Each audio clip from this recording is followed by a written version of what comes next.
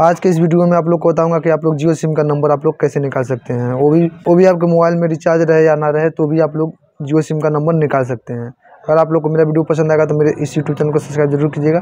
चलिए आप लोग को ले चलता हूँ मोबाइल के, होम स्क्रीन पर बताता हूँ कि आप लोग जियो सिम का नंबर कैसे निकाल सकते हैं।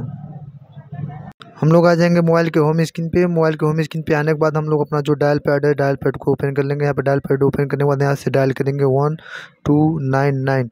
उसका जो जिसमें जियो सिम रहेगा, उस नंबर से हम लोग डायल करेंगे। देखिए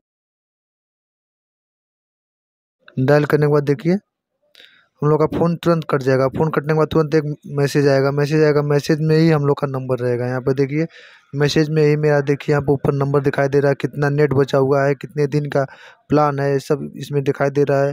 अनलिमिटेड है फाइव जी डाटा इसमें हमको मिला है तेईस दिन के लिए। सत्रह मार्च तक मेरा एक्सपायरी डेट है इसमें सब दिखाई दे रहा है यहाँ पे सब बता रहा है।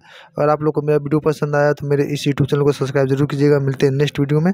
तब तक के लिए राम राम।